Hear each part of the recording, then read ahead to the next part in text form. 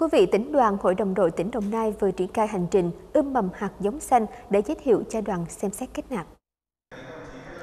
Đây là một buổi tham quan trải nghiệm thực tế của 100 đại biểu là thành viên ban chỉ huy liên đội, chỉ huy các chi đội, đội viên ưu tú đạt danh hiệu cháu ngoan Bắc Hồ tại Trung đoàn Không quân 935. Tại đây, các đại biểu được nghe giới thiệu về trung đoàn, được tham quan, nghe thuyết minh về truyền thống đấu tranh, các chiến tích của cha anh các thế hệ trước. Đặc biệt, được tận mắt nhìn thấy máy bay chiến đấu hiện đại được các chiến sĩ trung đoàn sử dụng để tuần tra, chiến đấu, bảo vệ vùng trời phía nam của Tổ quốc. Để được tham gia hành trình hôm nay thì một học sinh cần phải học tập tốt, làm theo đạo đức, tư tưởng, phong cách Hồ Chí Minh. Sau hành trình hôm nay em thấy mình cần học tập tốt hơn mỗi ngày, tìm hiểu về lịch sử Việt Nam, góp phần vào phát triển đất nước, xây dựng đất nước giàu mạnh, văn minh, sánh vai với các cường quốc Nam châu. Em cảm thấy đây là một hoạt động vô cùng ý nghĩa và thiết thực để cho các bạn có thể biết thấy những hiện ảnh, hiện vật, những hình ảnh của máy bay hay là những vũ trang để các bạn có thể hình dung được và chứng kiến được là các anh hùng đã phải như thế nào mới chúng ta mới được có hòa bình như ngày hôm nay ạ. Mong muốn là mình sẽ trở thành một đội viên ưu tú và sẽ được bước chân vào đảng viên để góp phần một công lao nhỏ bé của mình góp phần cho đất nước ngày càng phát triển vững mạnh hơn ạ.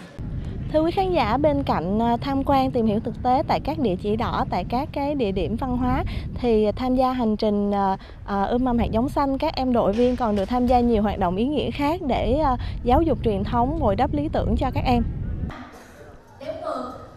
Theo đó, các đại biểu được tham gia cuộc thi tìm hiểu lịch sử Đoàn Thanh niên Cộng sản Hồ Chí Minh, cuộc đời và tấm gương kiên trung của đồng chí Lý Tự Trọng, người đoàn viên thanh niên Cộng sản đầu tiên để hiểu thêm về lý tưởng tinh thần của anh hùng Lý Tự Trọng. Trong khuôn khổ hành trình, đại biểu còn tham dự talk show Gen Alpha và hành trình lý tưởng. Tại đây, các đại biểu đã được nghe thủ lĩnh thanh niên của tỉnh chia sẻ về những việc đã đang và sẽ làm của tổ chức đoàn, đội để đồng hành với đội viên, thiếu nhi, đoàn viên thanh niên trong học tập, phấn đấu trở thành đội viên, đoàn viên ưu tú để được đứng vào hàng ngũ của đoàn, của đảng trong tương lai, đồng thời được giao lưu chia sẻ với các gương đội viên, đoàn viên tiêu biểu.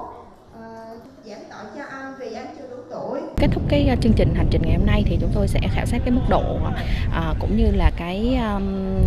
hiệu quả của chương trình. À, nếu như chương trình thực sự mang đến hiệu quả thiết thực dành cho các em à, thiếu nhi đội viên uh, ưu tú thì chúng tôi trong thời gian sắp tới thì chúng tôi cũng sẽ chỉ đạo uh, đoàn và uh, huyện các đơn vị đoàn cấp huyện và hội đội các huyện sẽ triển khai um, những cái mô hình này. Thì trong cái chương trình công tác của hội đội trung ương á thì cũng có um, đề ra một cái nội dung đó là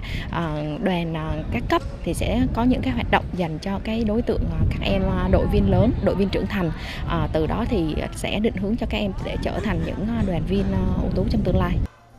Năm 2024 là năm đầu tiên hành trình ươm mầm hạt giống xanh được tổ chức. Qua hành trình, tổ chức đoàn hội tiếp tục giáo dục nâng cao lòng yêu nước, truyền thống lịch sử, văn hóa dân tộc trong đội viên học sinh, đồng thời củng cố bồi đắp thêm niềm tin của thiếu nhi đối với đảng, nhà nước và hệ thống chính trị, tạo động lực thúc đẩy đội viên ưu tú phấn đấu trở thành đoàn viên đoàn thanh niên cộng sản Hồ Chí Minh.